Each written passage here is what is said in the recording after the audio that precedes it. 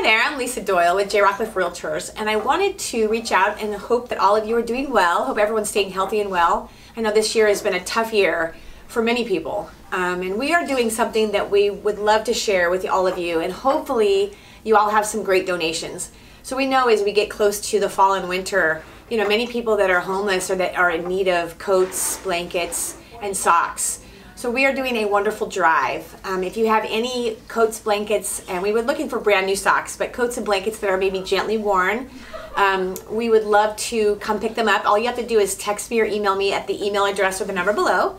And any time between now, so here we are, uh, end of September, and we'll be picking up all the way through the end of um, the year, so end of December, and into January as well. Anyone who sees this later, um, we just want to give back. We know a lot of people have been struggling, and you know, for any of you that have been having a hard time, you know, businesses that are struggling, we know that this has been tough. You know, COVID's been such a tough thing for everyone.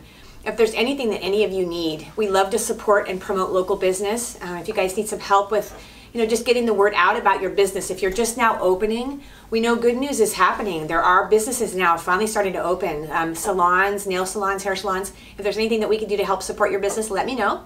And again, any gently worn coats, blankets, and newer socks that we can donate um, to the homeless, let us know. Give me a call. I'm Lisa Doyle. If you need anything at all, then I can help you with anything, let me know. Take care. See you soon.